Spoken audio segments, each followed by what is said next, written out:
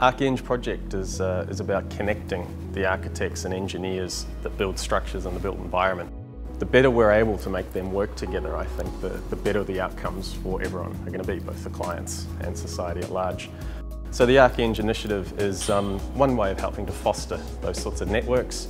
Um, it's a fun environment. We really wanted to promote that creative, iterative uh, uh, process in real time.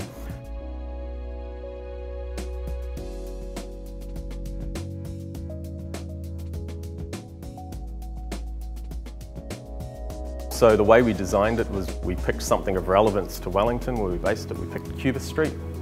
Uh, we found a site on Cuba Street that uh, obviously looks as though uh, it could be developed and we structured the entire program design around that. So the first part of that was getting the students to go for a walk on the site visit.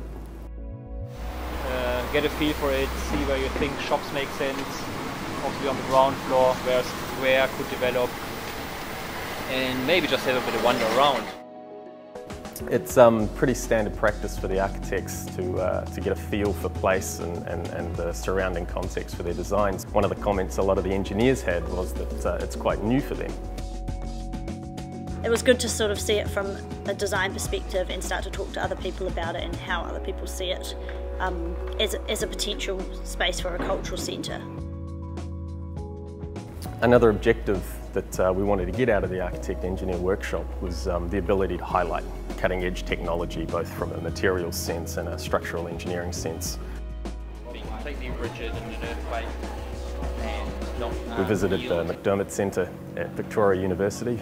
We were very lucky to um, get one of the structural engineers that was involved in that project. He came on site, he walked the students through the design process and we walked right through that building. I really enjoyed uh, looking at the MacDiarmid building because we've heard a lot about the PRESSS system, but I've never actually seen it in person and how, how the bits all fit together.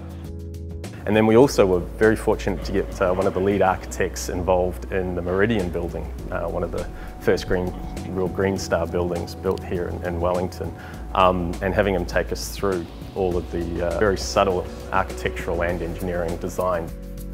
From the site visits, it was really cool to be shown around by an architect as well as an engineer.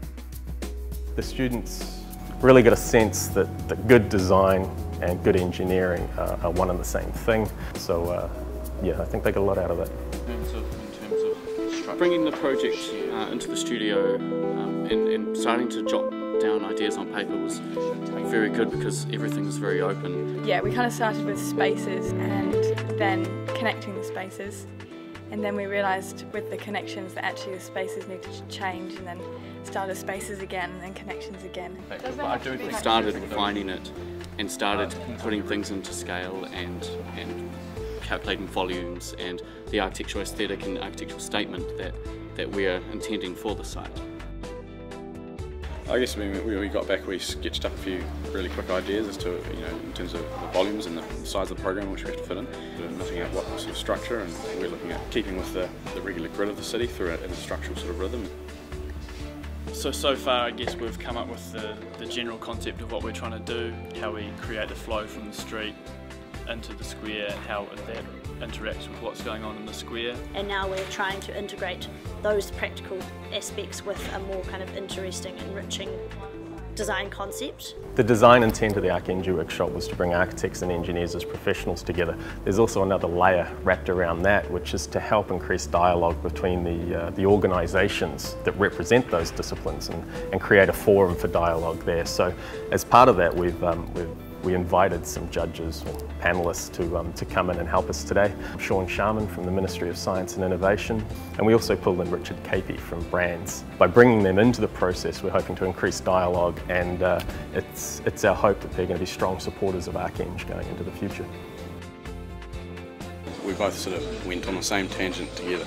From an engineering perspective, it definitely shows you that outside the School of Engineering, there is a big world out there that's less uniform and there's ideas and creativity. It's a fantastic way to add richness to your design. You get to look at a problem from a completely different angle than we're used to at uni. Yeah, it was a good collaborative effort, I think. It's definitely a really good experience.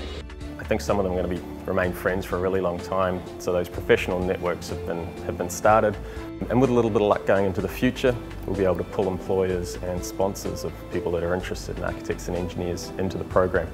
It's our hope that uh, the, the networks that we're forming in ArchEng are going to last for, for the next 10 or 20 years. This is the next generation of architects and engineers.